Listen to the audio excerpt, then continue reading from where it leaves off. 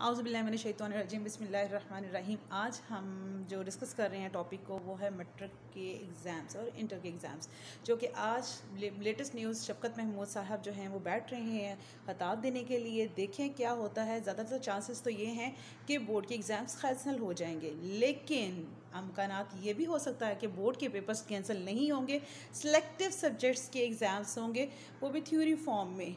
तो देखते हैं क्या होता है, क्या नहीं होता, आया कि एग्ज़ाम्स होंगे या नहीं होंगे, इसके बारे में अभी कुछ देर बाद देखते हैं। अस्सलाम वालेकुम।